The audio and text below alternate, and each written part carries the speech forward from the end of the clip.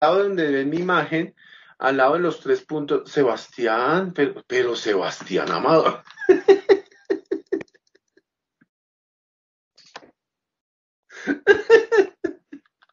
¿Qué pasó? Yo creía que eso solo pasaba en TikTok.